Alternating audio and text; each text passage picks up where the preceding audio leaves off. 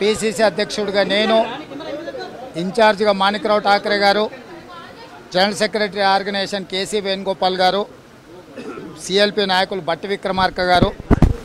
మేమందరం కూడా చాలా సందర్భాలలో వివేక్ వెంకటస్వామి గారిని కలిసి ఇప్పుడున్న పరిస్థితులలో కేసీఆర్ని గద్దె దించాలి అని అంటే మనం కలిసికట్టుగా కష్టపడాల్సిన అవసరం ఉంది. రాష్ట్రంలో ఉన్న ప్రత్యేకమైన పరిస్థితులలో మీ సహకారం కాంగ్రెస్ పార్టీకి ఉన్నది. మీ కుటుంబానికి గాంధీ కుటుంబానికి ఉన్న బంధము అనుబంధము తరతరాలుగా ఉన్నది. రెండో తరం మూడో తరంలో కూడా మీరు గాంధీ కుటుంబంతో కలిసి పనిచేయాల్సిన అవసరం ఉన్నదని మేము చాలా సందర్భాలలో విజ్ఞప్తి చేసినాం.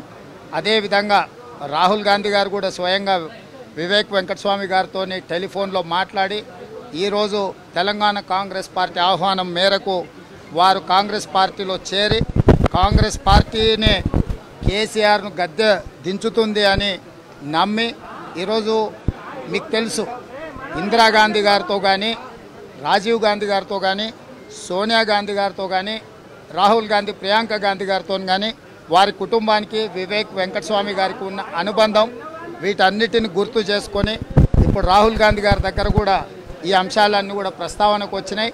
వారు ఈరోజు తిరిగి కాంగ్రెస్ కుటుంబంలోకి రావడం ద్వారా వారి కుటుంబానికి వారు చేరుకున్నారు.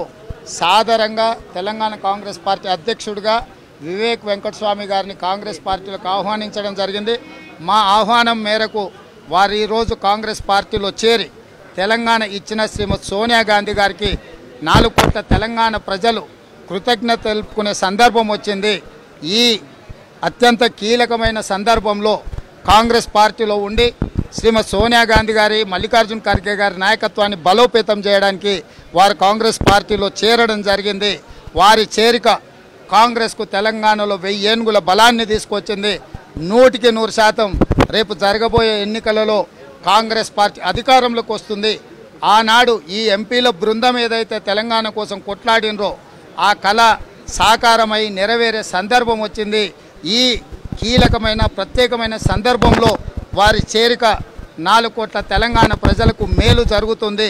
తప్పకుండా ఈ కాంగ్రెస్ ఇక్కడ మార్పు కావాలి కాంగ్రెస్ రావాలి అన్న ఆలోచన ఏదైతుందో ఆ ఆలోచనను బలోపేతం చేస్తూ ఈరోజు వారి చేరిక అన్ని రకాలుగా తెలంగాణ ప్రజలకు ఉపయోగపడుతుందని భావిస్తున్నాం.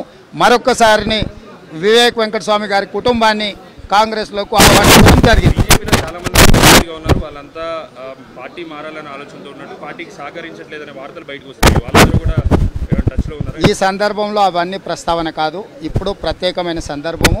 వివేక్ వెంకటస్వామి గారు ఈరోజు వారి కుటుంబము గాంధీ కుటుంబము ఒకటే.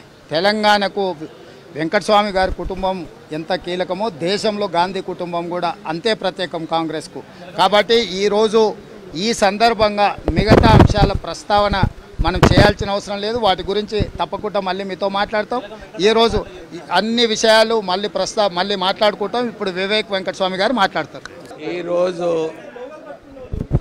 రేవంత్ రెడ్డి గారు చెప్పినట్టు తెలంగాణ సాధనలో అందరు ఎంపీస్ అప్పుడు కరుడుగట్టుగా కొట్లాడి తెలంగాణ రావాలని చెప్పి తెలంగాణ అప్పుడు సోనియా గాంధీ గారు తెలంగాణ ప్రజలు ఏదైతే ఆశించారో దాన్ని గుర్తించి తెలంగాణ ఇవ్వడం జరిగింది.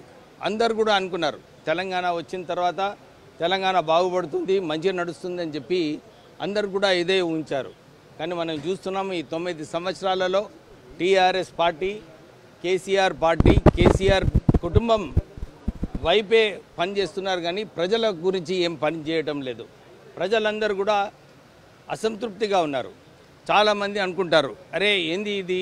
ఇలాంటి కారణాలు ఎలా ఉన్నాయని చెప్పి అనుకుంటే అందరు కూడా ఇప్పుడే మా ప్రెసిడెంట్ రేవంత్ రెడ్డి గారు చెప్పినట్టు అందరూ కలిసికట్టి కేసీఆర్ గారి గద్దె దించే అవసరం ఉన్నది తెలంగాణ ప్రజలకు న్యాయం చేసే అవసరం ఉన్నది. ఆ దిశలో మేమందరం కూడా కలిసి ఈ రాక్షస పాలన దించే వరకు ఈ ఉద్యమం నడుస్తుంది. అరే టికెట్ ఇంపార్టెంట్ కాదు ఇక్కడ. ప్రభుత్వం వ్యతిరేకంగా అందరూ కలిసి కొట్లాడేది అవసరం ఉన్నది. పార్టీ ఏ నిర్ణయం తీసుకుంటుందో ఆ పార్టీ నిర్ణయం ప్రకారంగా నేను పనిచేస్తాను.